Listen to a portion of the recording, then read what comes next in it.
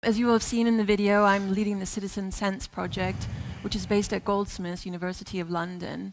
And what we're looking at is the use of low cost sensor technologies by citizens to better understand their environments. So we've done this work already in the area of pollution sensing, and now we're looking at urban sensing in smart cities. So smart cities are often featured like this um, a kind of overarching diagram of the ways in which sensors, uh, the Internet of Things, will help to improve urban functions. And here you see a, a map from Libelium, which is a Spanish tech company.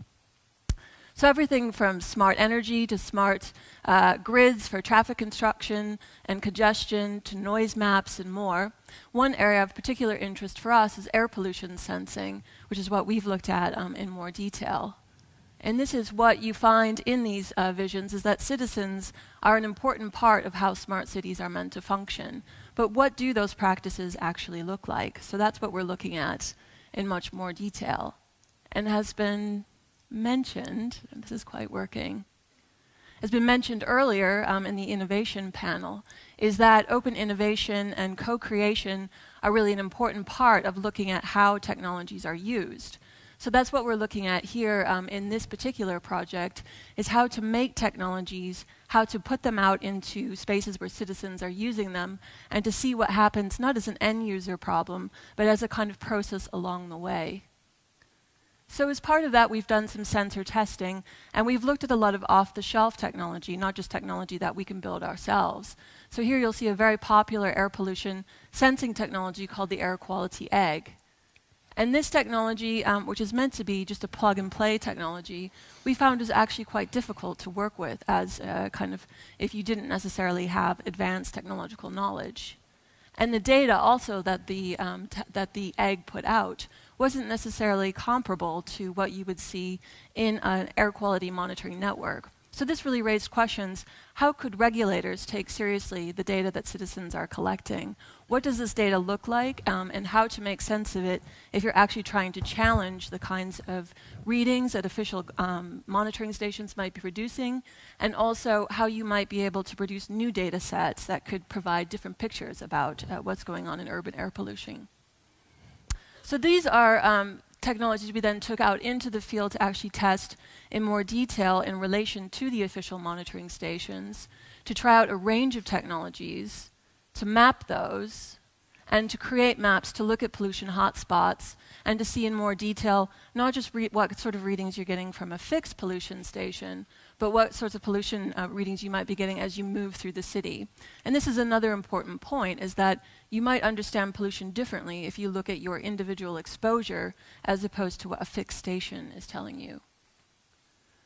So um, we've done, as I mentioned, a kind of first wave of this testing.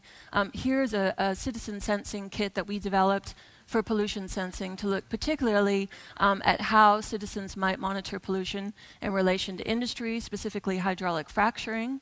And we created this kit and deployed it to over 30 citizens to use over a space of seven months.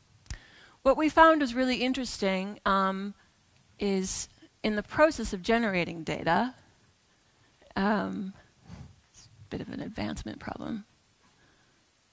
That uh, the data that citizens uh, generated, which um, was quite interesting because they had a spatially dense network of collecting data, is that regulators didn't necessarily take seriously um, the data that citizens were gathering. So this was a conversation that citizens began to have with their policymakers.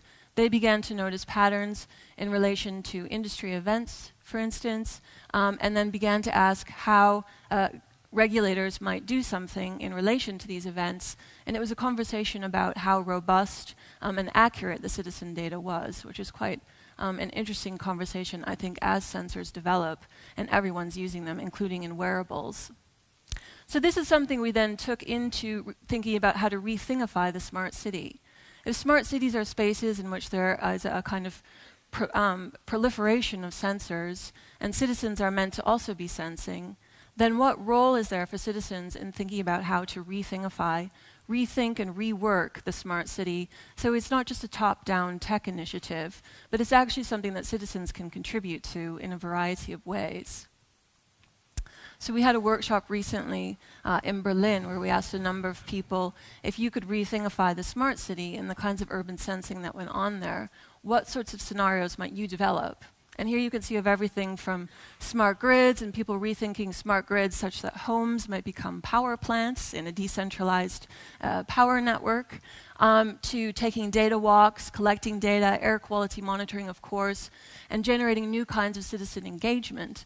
But here, as I've mentioned, a kind of critical question is how can that data that citizens gather be taken seriously in regulatory spaces and beyond?